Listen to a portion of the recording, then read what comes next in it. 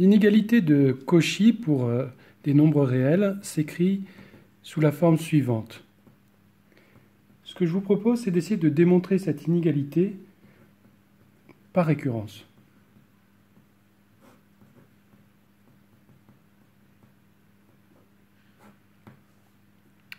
Alors le cas n égale à 1 est assez trivial, donc on va commencer par regarder le cas n égale à 2.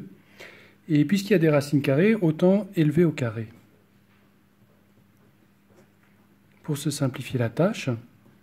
Et donc on se retrouve avec l'inégalité que je suis en train d'écrire, A1B1 plus A2B2 le tout au carré, majoré par A1 au carré plus A2 au carré, facteur de B1 au carré plus B2 au carré.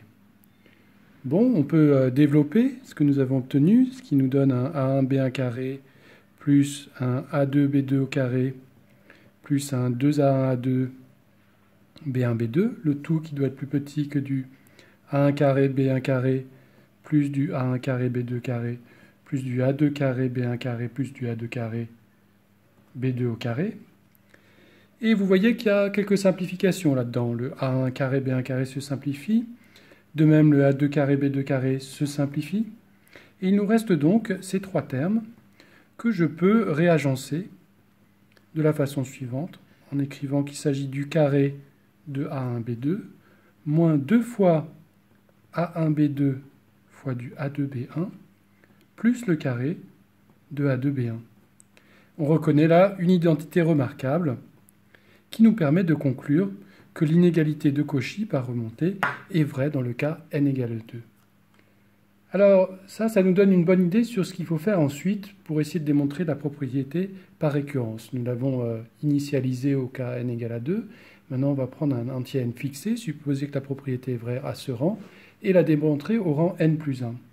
Alors qu'est-ce qui se passe? Eh bien, par hypothèse de récurrence, les n premiers termes, je peux les majorer, comme on avait dit euh, euh, précédemment, par les quantités qui se trouvent en haut à droite de ma feuille. Bien, cette quantité-là, je vais lui donner un nom, je vais l'appeler alpha, et celle-ci, je l'appelle bêta.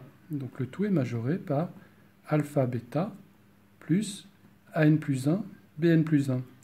Et là, vous voyez, on a deux termes, c'est-à-dire qu'on pourrait appliquer l'inégalité de Cauchy au carré de ces deux termes, ce qu'on a démontré tout à l'heure. Et il en résulte donc que le carré de ce qui se trouve ici est majoré par le carré de mon nombre de droite, qui lui-même est majoré, d'après l'inégalité de Cauchy-Schwarz, par alpha 2 plus an plus 1 au carré, plus facteur de, pardon, bêta 2 plus bn plus 1, le tout au carré. Mais regardez les expressions de alpha et de bêta, et vous voyez qu'on a exactement démontré l'inégalité de Cauchy au rang n plus 1.